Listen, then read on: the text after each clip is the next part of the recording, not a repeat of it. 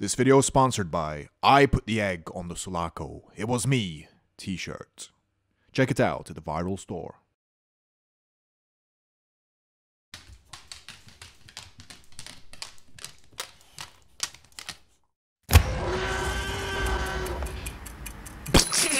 Surprise!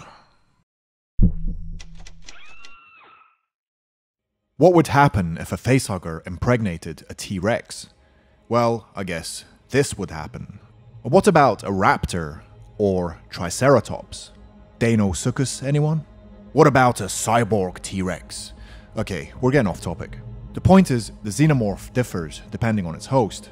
Let's look at this in more detail. Xenomorphs have been alternately portrayed as both plantigrade and digitigrade organisms, usually in accordance to their host. This was due to horizontal gene transfer during the gestation period. The xenomorph also takes on some of the basic physical attributes and intelligence level of the host from which it was born, allowing the individual xenomorph to adapt to the host's environment. It was theorized that the embryo attaches itself to a major artery of its host to get nutrients as it grows. It's presumed that the DNA from the blood it acquires infuses itself with the embryo's DNA to make up for its lack of genetic structure. Human spawned xenomorphs were usually portrayed as having humanoid hind limbs, while other non human spawned xenomorphs, such as runners, have sported double jointed legs due to its quadrupedal host. The DNA reflex is a term given to the process by which a xenomorph inherits certain characteristics from its host organism. The process accounts for the physical and perhaps even mental variations apparent in some specimens of the creature.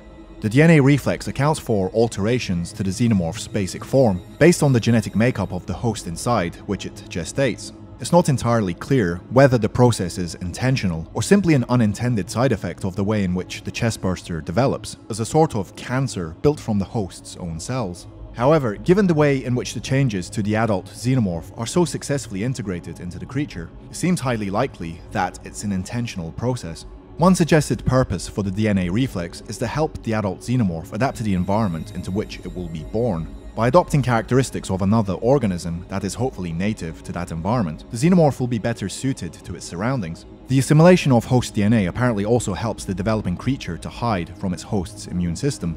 Embryos are thought to copy around 10 to 15% of the host's genetic code during their early development. Notable physical traits inherited from host organisms include bipedalism, quadrupedalism, and in the case of predaliens, mandibles and dreadlocks. It's also been theorized that the adult xenomorph may adopt some mental traits from the host, such as general intelligence and certain instincts.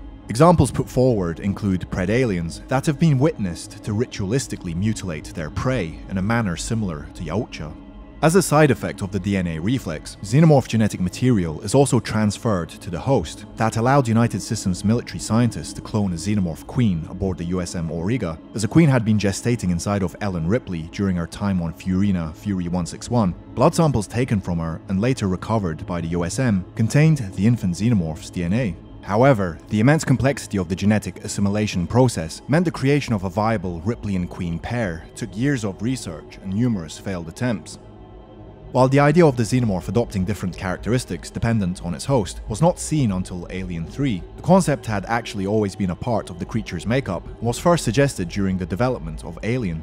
Ridley Scott has stated that, while shaping the alien's life cycle, the pre production team considered how the creature would take on a different appearance were it to gestate inside a different host. The director has gone on to state that the creature in the first film is merely the man version of Alien, in the novelization of Alien Covenant, David states that the hybridized creatures spawned from the black liquid pathogen inherit traits from their host organism, similar to the DNA reflex of the xenomorph. Indeed, it's possible this is where the species acquired its ability to take traits from its host. So that's an introduction to the DNA reflex. What do you reckon? Which hybridized xeno would you like to see? Croc alien? Rhino alien? The possibilities are endless. Please let me know in the comments below. And don't forget to subscribe and like the video. Also, please follow me on Twitter. And if you enjoyed this video and want to see more, consider supporting me on Patreon. Or you might catch me serving you at McDonald's real soon. Oh, and make sure you click the bell icon to turn on notifications. I'll see you later.